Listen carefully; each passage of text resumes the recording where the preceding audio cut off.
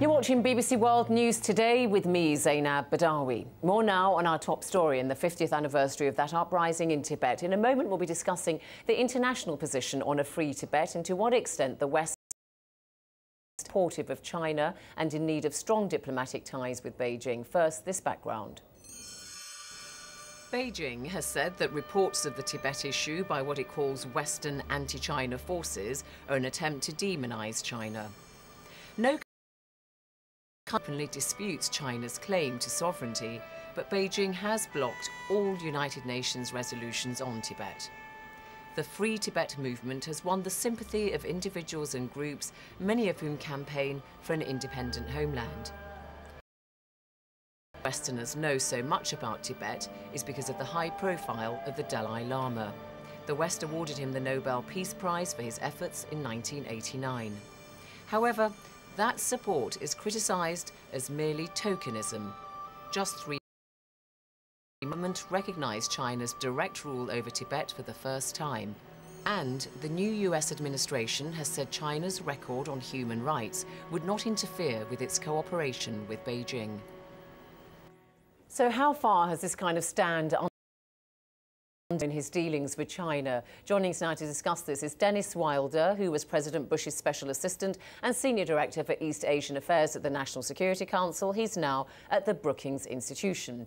Also from Washington is Kelley Currie. She advised the State Department during the Bush years and is now with the Project 2049 Institute, a think tank based in Washington. Kelley Currie, so do you think that world leaders could do more to put pressure on China over Tibet?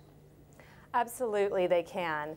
There are many opportunities, especially and other times when they're meeting with the Chinese at all levels, when world leaders can express their views about the situation in Tibet in a constructive way with the Chinese that helps to see the Chinese this, that there is an opportunity here are a threat to them, but that the Dalai Lama provides an opportunity for them to resolve this issue in a much more constructive way than the path that they have currently chosen. Just very quickly, staying with you, Kelley Currie, was there constructive criticism during the Bush years, under the Bush administration?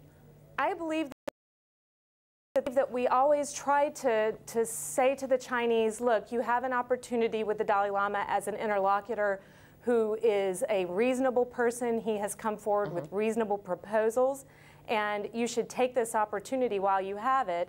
There Tibetan world that are not so reasonable okay. and who don't have that same sense of reasonableness about them. Okay, Dennis Wilder, did you hear that kind of same constructive criticism coming from the new Obama administration? Some people say that uh, Hillary Clinton's words about human rights not in integration with China on a host of things is a bit worrying. I think Secretary Clinton's remarks were somewhat misunderstood in the media. Uh, the Bush administration, I think, laid a solid foundation with the Chinese government on this issue. As you know, Mrs. Bush, we're very committed to this issue. I expect that when uh, Foreign Minister Yang meets with Secretary Clinton tomorrow, this will be on the agenda. And I think the commitment of the entire U.S. government, not only the executive branch, but certainly is strong and firm in wanting to see forward progress between the Dalai Lama and the Chinese government. So Kelley Currie, perhaps Mrs. Clinton's comments uh, are more nuanced than you might perhaps suggest. Actually, I think they were not as nuanced as they should have been. To understand that she's not just speaking to the Chinese leadership, but that she's also speaking to the Chinese people and the Tibetan people, and that her words are being heard by them, not just by the officials that she meets with and that mm -hmm. when mm-hmm. she said something along the lines of to agree to disagree on human rights and that there are more important issues out there, this really is quite damaging to people who are trying to okay. bring political change in China. Jenny Swan, I'm not going to put you in the difficult position of batting for the uh, Obama administration. You're, uh, you're in the Thank you for that. nevertheless, um, it is a difficult balance, isn't it, for any administration to strike between keeping China on side, being constructive, but also doing what Kelley Currie is suggesting? Absolutely. In the current environment, when we have major turmoil in the world, and China is a key player in that, when we have climate change issues to deal with, When you have a situation like we just had in the South China Sea, there is a lot on the U.S. China agenda. And so it is hard, but always was that you had to make time for this issue. You had to make sure that the Chinese understood that the international community expected China, as it modernized, as it reformed, that it would also reform in the political arena. But Dennis Wilder, apart from words talk to Beijing, I mean, what actually could you do in terms of leverage over Tibet? Not a lot, really. Well, I think that uh, we did accomplish a great deal in terms of getting through to some on the Chinese side that, listen to the Dalai Lama. There is an important concern, and I think Kelley Currie raised it earlier, and that is the Dalai Lama is a man of peace. He's a man who they can deal with. There is a concern that radicalization of the Tibetans will occur uh, in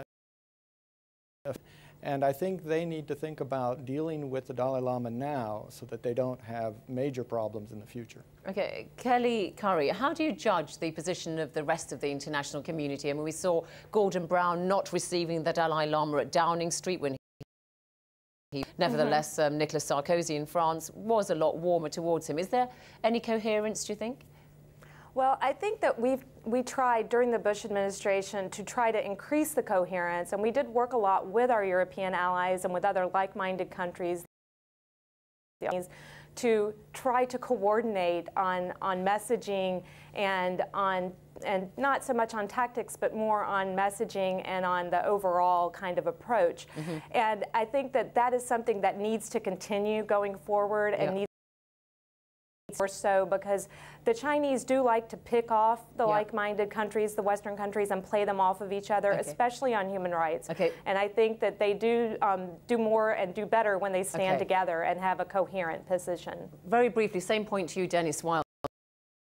Greater coherence, perhaps internationally, on Tibet and China.